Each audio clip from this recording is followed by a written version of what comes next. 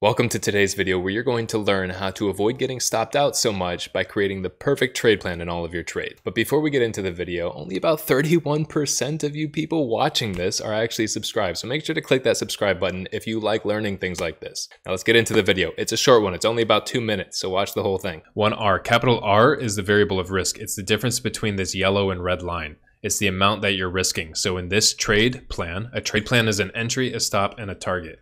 In this trade plan, your entry is 1381. Your stop is 1332.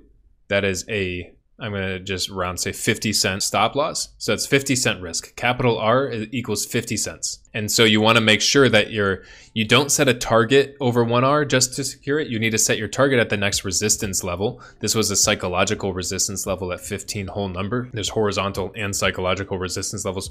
Horizontal are the ones that you're used to that it bounces off of a bunch of times, three times at least. Psychological is like a round number or high of day, all-time high, low of day, all-time low, stuff like that. That's all psychological numbers. So I set my target here and then after I set my target at the next resistance level, then I calculate. Does this have greater than one to one reward to risk? The answer is yes, so I take the trade. If not, I don't move the target. To, let's say the target was something like here. Well, that's not one to one reward to risk. My reward is less than my risk. This reward is not worth the risk. Instead of saying, oh, well, okay, then I'm just going to change my target to be up here. That's one to one, so I should do that, right? Well, no, because what if it bounces off of the resistance that the target should have been at. Instead of moving the target to try and fit the trade for you, you can't force a trade to work. You simply move on to the next trade. The reward is not worth the risk in that case. It's not worth the risk, so you move on.